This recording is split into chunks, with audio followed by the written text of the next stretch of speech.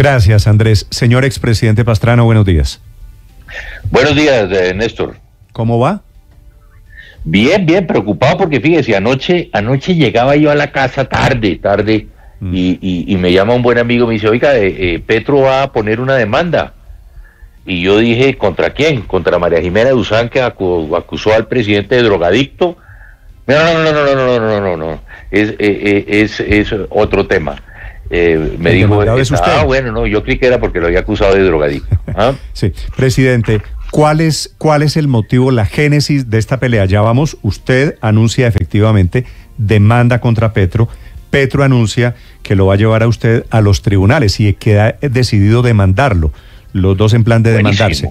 ¿Por qué? Muy bueno, a ver, a ver, muy bueno a ver por, por, una cosa. Primero, porque el presidente Petro va a tener que acudir a los tribunales a explicar todo esto del señor Epstein y del, del, avión de, del señor Epstein. Como yo ya lo he dicho y lo dijo aquí nuestro, nuestro colega periodista, mi tocayo Andrés, em, yo me monté en el avión de Epstein y quiero dejar una cosa muy clara. Nunca hubo menores en el avión de Epstein que yo me monté, ¿ok? Segundo, el vuelo exactamente era a la isla de Cuba. ¿Y por qué iba yo a Cuba? Porque teníamos una reunión precisamente que había pedido Epstein de hablar con el presidente de Cuba en ese momento, que era en ese caso Fidel Castro. Entonces se celebró esa reunión en Cuba, en La Habana, con Fidel Castro, pero reitero, en el vuelo no había menores para que quede eso claro. Segundo, pero, el presidente, como a veces está desinformado, Néstor, el presidente no se informa, perdón si si quiere le Este hecho, a mí ya me había interpuesto esto el congresista Germán Navas Talero, y yo fui ante la Corte Suprema de Justicia a su sala de instrucción, porque yo lo demandé por el, delito de injuria y calumnia, exactamente por los mismos términos que utilizó el presidente Petro, y como usted recuerda, en el año 2019, el congresista Nava Talero tuvo que retractarse públicamente porque no había ni pruebas ni evidencias y tuvo que retractarse públicamente y pedir disculpas a mí y a mi familia exactamente por esta cosa. Yo diría que este es el caso de la cosa juzgada, pero en todo caso yo voy con la demanda del presidente Petro para que explique precisamente de qué se trata. Pero, Tercero, presidente, déjeme, hacerle ahí, si me permite, una pregunta. Para aclarar, para superar el episodio de Epstein, producto de los golpes bajos en la política, de las pasiones en política, básicamente lo que está diciendo el presidente, lo que dijo Navastalero, es que usted, amigo de un pederasta, pues digamos, de frente, yo creo que hay que decirlo, están sugiriendo que usted andaba en la pederastia. Cuando usted conoció o qué o la relación que usted tuvo con Epstein, para aclararlo digo, ¿era de qué nivel? ¿Era de fiestas privadas o era una relación de qué? No, hombre. A ver, Néstor, a ver, mire, ¿sabe dónde conozco yo a Epstein? ¿Con quién conozco yo a Epstein? Yo conozco a Epstein con eh, el presidente Clinton y Mikhail Gorbachev, ¿ok? Precisamente a mí me estaban condecorando en Irlanda, me estaban dando un premio y precisamente eh, en, ese premio por las noches era un premio de liderazgo, se hacían unas reuniones con todos los jóvenes del mundo que iban allá, era una reunión de jóvenes, y en esa reunión precisamente me presentan a Epstein, eh, el presidente Clinton estaba ahí y estaba eh, Mijael Gorbachev. Ahí es donde conozco yo a Epstein, él estaba con su novia, con Ghislaine Maxwell, y de ahí comenzó a, tener unas relaciones conmigo, pero nunca ni de fiestas, de nada, de absolutamente nada, sino simplemente él cuando me dice un día que él quería conocer a Fidel Castro y yo le digo que hay la posibilidad de ir a Cuba. Y fue una reunión muy larga y Fidel Castro tuvo una conversación larguísima con, con ¿En, qué, año sobre unos temas increíbles que ni que yo conocía. ¿ah? ¿Usted, ¿Usted recuerda en qué año fue esa reunión? Esa reunión fue año no, la verdad, Néstor, ahorita no, pero se puede confirmar esa reunión, la confirmamos, eso no hay ningún problema. Sí, ¿ah? pero digo, eh, Epstein murió hace como tres o cuatro años, ¿cierto? No, eso fue mucho, mucho antes, muchísimo antes, fue mucho antes de eso, esa, esa reunión en La Habana, Cuba, con el presidente Castro. En ese momento de la reunión, eh, eh, Epstein, Fidel Castro, en la que usted va, ¿Epstein tenía alguna acusación de pederastia? No, no, no, no nada, nada si hubiera tenido acusación, yo que voy a llevarlo, imagínese, ¿ah? una persona que está en eso es lo que quiero aclarar. A Cuba, Epstein ¿ah? en ese momento era, era, un banquero. Y, además usted sabe, además usted sabe que posiblemente los organismos de inteligencia más importantes del mundo son los cubanos. Si usted cree que, Epstein lógicamente fue investigado por los organismos de inteligencia, como sucede siempre, y los presidentes, y por lo general se hace toda una investigación de las personas que van a visitarlo a uno, y usted se imagina la inteligencia cubana haciendo la investigación mm. sobre este, no, no había absolutamente nada, sino segurísimo. Primero, que yo no hubiera ido con él ni hubiera conseguido la cita, y segundo, que Castro no lo hubiera recibido. ¿En qué momento, presidente Pastrana, usted oyó hablar del Lolita Express? Que era, el no, que era como le decían al avión de Epstein. Sí, yo eso me enteré después, el avión de Epstein, como le digo, cuando yo monté en el avión de Epstein, no había menores en el avión, para que quede claro otra vez, ¿ok? Y yo quiero en eso ser reiterativo. Por la prensa, exactamente como se enteró usted, me enteré yo. Exactamente igual. Ahora, presidente, le hago una pregunta del otro lado. Eh, es que la acusación suya contra el presidente Petro, pues no es menor. Usted dice que esta es una fusión del gobierno con el narcotráfico, es decir, Petro sugiriendo que usted es un pederasta porque era amigo de un pederasta y usted diciéndole a Petro que él es un socio o pieza del narcotráfico. ¿Qué pruebas tiene usted o cómo es su acusación contra el presidente Petro? A ver, dos cosas. Yo creo que es importante. Una, porque Petro habla de dignidad. Y aquí sí estamos en dos orillas distintas, hablando Petro de dignidad. Un tipo que fue secuestrador, un hombre que perteneció a la banda criminal que contrató Pablo Escobar, mi secuestrador, para asesinar la Corte Suprema de Justicia. Y no lo digo yo. El otro día estaba recordando un, tuit de, de Popeye, mi secuestrador, que precisamente dice que Petro y él tenían al mismo jefe que se llamaba Pablo Escobar. Lo dice Popeye, ¿ok?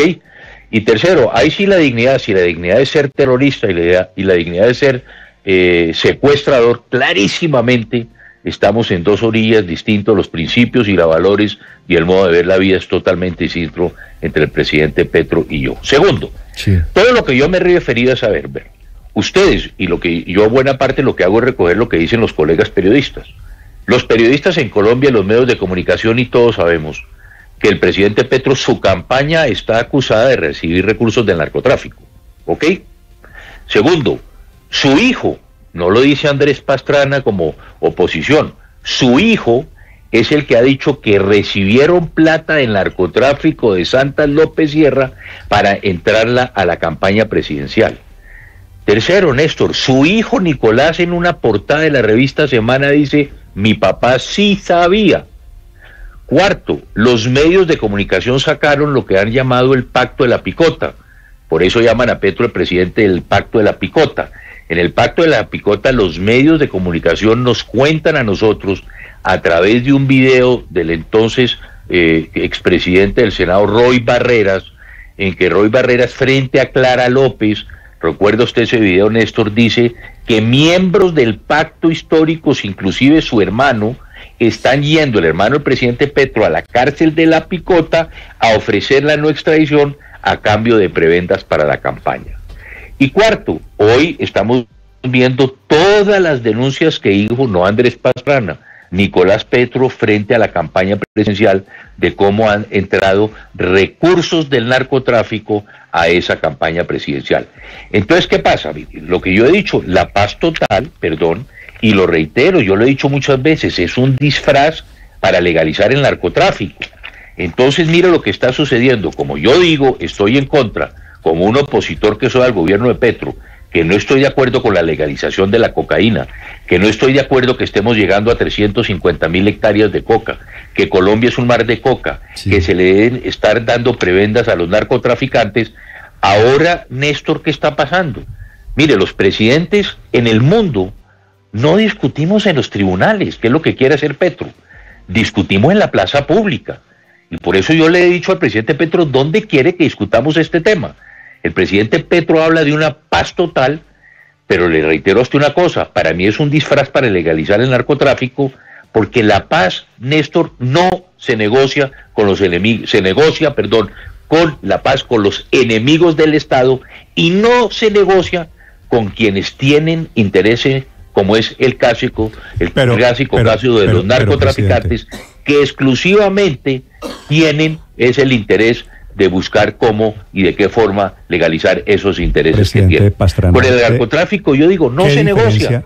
¿Y qué negocia usted a cambio del narcotráfico? Fíjese, hoy el presidente del Uruguay, el propio eh, La Calle Po, diciendo con el narcotráfico no se negocia. Presidente Pastrana, ¿qué diferencia hay entre el proceso de paz que usted, presidente Pastrana, intentó con las FARC, que eran los mismos narcotraficantes de las FARC, y el que está intentando el presidente, el presidente Petro el día de hoy? Si yo hubieras estado sentado con los narcos, no hubiera sentado, perdón, Néstor.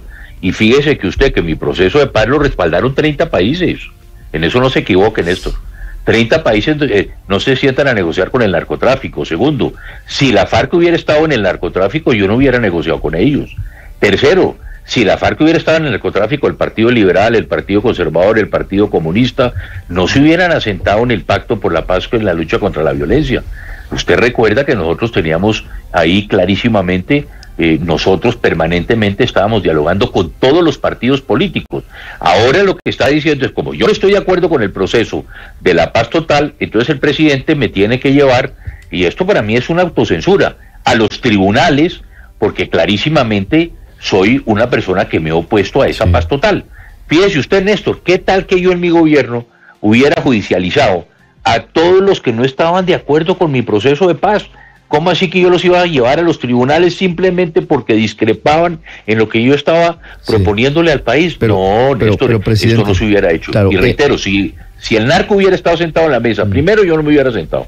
Y segundo, 30 países, ni el secretario general de las Naciones Unidas hubieran enviado enviados especiales para el proceso de paz que iniciamos nosotros. Presidente, en gracia de discusión lo que dice el presidente Petro es que va a denunciarlo a usted no porque usted sea crítico de la paz total, sino porque usted le ha dicho narcotraficante. No, yo he dicho que es un gobierno que le ha dado, eh, pero, pero perdón, que su campaña, yo no he dicho eso, Ricardo. Yo lo que he dicho yo es que el presidente de la República, su campaña está contaminada de narco. Lo dicen ustedes. No, pero usted dijo, lo cito, presidente Pastrana, usted dice, entre comillas, una fusión del gobierno con el narcotráfico. Claro, pero si la fusión está, mire, mire qué pasó. Su hermano él recibiendo campaña, a ver, una campaña en los cuales los narcotraficantes eligen al presidente de Colombia no es una fusión, Néstor, o estamos hablando en dos términos distintos. ¿Es distinto? Si el narcotráfico se compra la presidencia como sucedió en el año 94, ¿es distinto? ¿Y a usted ¿No hay una fusión entre el narco? ¿Y a usted le parece que, Petro, que Petro es comparable con Samper? Claro, pero si no lo digo yo, lo dicen ustedes. Lo dice su hijo, su hijo dice que a la plata entró, a la campaña entraron recursos que iban a ser destinados a la campaña. El hermano de Petro en el pacto, no lo digo yo, vuelvo y le insisto, lo están diciendo son ustedes, yo recojo lo de los medios de comunicación. Yo no sé en dónde ustedes han publicado, Néstor, algunos audios de, miembros de la campaña, ¿es en el, es en, el Meta o en Casanari? en, Casanari. Sí, pero eso fue, cómo entraron los recursos del narcotráfico a la campaña. Sincero, Tercero, mire usted lo que pasó. Yo tengo discrepancias y por eso le digo al presidente, hagamos el debate público, presidente, vamos a un debate público. Mire, la, si usted mira la ley de justicia que presentó el ministro de Justicia, todos los beneficios que se le estaban dando a los narcotraficantes. Entonces, ahí estamos clarísimamente, aquí lo que hay es mm. dos posiciones absolutamente distintas. El presidente Petro le quiere entregar el país al narcotráfico, quiere hablar y ha venido hablando en Naciones Unidas de la legalización de la droga. Yo hice exactamente lo contrario. Colombia era un Estado fallido. Hicimos el Plan Colombia y hicimos que Colombia fuera un Estado viable. Ahí hay dos mm. posiciones absolutamente distintas. Pero lo que no puede suceder en esto es, porque como yo me opongo a la paz total, porque yo me pongo al diálogo con los narcotraficantes, porque yo me opongo a que Colombia es un mar de coca. Eso no es lo que queremos los colombianos. Esto es una discusión mundial, pero a mí no me va a callar el presidente diciéndome que me va a llevar a un tribunal, que me lleve donde quiera, pero vamos a seguir en esta lucha porque él está beneficiando a los narcotraficantes y yo vuelvo y le reitero, tengo una posición absolutamente distinta. Es que el narcotráfico, perdón Néstor, está polulando el narcotráfico está invadido. Esta campaña, todos sabemos qué pasó en esta campaña con los recursos del narcotráfico, financiando campañas a lo largo y ancho del país, que era lo que nos hacían las denuncias todos los miembros de la nueva Fuerza Democrática. Vaya usted a un restaurante, Nelson. Vaya usted a los almacenes. Hoy todo el mundo está hablando, la gente pagando en efectivo, ya no se están haciendo facturas, la gente compra botellas de 30, 40 millones de pesos eh, de vinos, cuentas de 20 y 30 millones en los restaurantes. Una vez ella llega a los restaurantes y ni siquiera conoce a nadie. Entonces, esa es una pelea que he venido dando, me costó mi secuestro, casi me cuesta mi vida, vamos a seguir dándola. Pero es que el presidente Petro lo que quiere es precisamente creer que me va a amedrentar a mí llevándome un juzgado. ¿Dónde quiere el debate, presidente? Hagámoslo. Sí, presidente Pastrana, una última pregunta. sí, Ricardo. Usted, con base en lo que dice, considera que el gobierno del presidente Petro realmente está hipotecado al narcotráfico? No, eso lo dice usted, no lo digo yo. No, le estoy preguntando. No, eso lo dice usted, yo no. Yo, yo lo que estoy diciendo es que estamos en dos posiciones distintas. Hay una campaña contaminada por el narcotráfico. Un familiar del presidente ofreciendo la no extradición a cambio de beneficios. Una campaña que ustedes mismos han dicho que el narcotráfico se ha vinculado y que financió esa campaña. Y que el propio hijo del presidente, porque es que no lo digo yo, Ricardo, lo está diciendo Nicolás, ¿su papá sabía? Sí, sabía. Punto. Esa es una portada de la revista Semana. Es el expresidente Andrés Pastrana hablando de esta desapacible, si me permite el adjetivo, de esta pelea con el presidente Gustavo Petro, una pelea obviamente... Pero Néstor, ¿por qué desapacible? ¿Por qué mantener usted principios y valores es lo que yo no entiendo? ¿Por qué eh, eh, eh, es desapacible? Mantener posiciones, yo no quiero que mi país esté en el narcotráfico, ni mis hijos, ni mis nietas, ni mi nieto. Yo quiero un país limpio, un país sano. Por eso peleamos nosotros. Por eso, reitero, me tocó casi mi vida. Como periodistas, perdón Néstor, porque usted se olvida, con periodistas como María Jimena Duzán, con periodistas como Enrique Santos, con políticos como Luis Carlos Calán. Tuvimos el valor, Néstor, de pararnos y decirles quiénes eran los narcotraficantes y nos asesinaron a Guillermo Cano.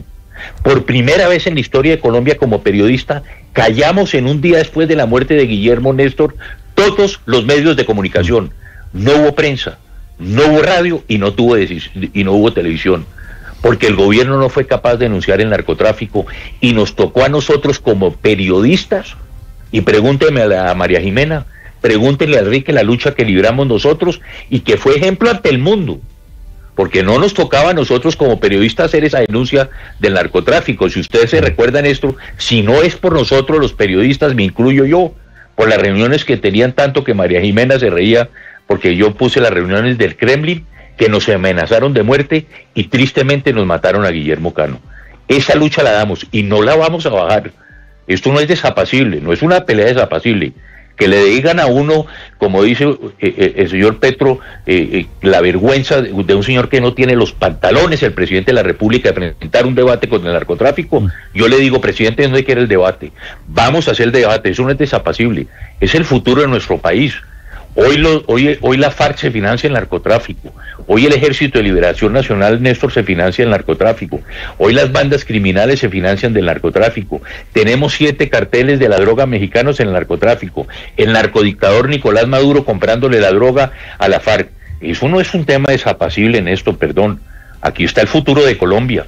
Y con narcotráfico mm. nunca habrá paz en este país. Andrés Pastrana, esta mañana aquí en Blue Radio. Presidente Pastrana, gracias por acompañarnos. Muchas gracias, Néstor. Mil y mil gracias. 8.20 minutos en Mañanas.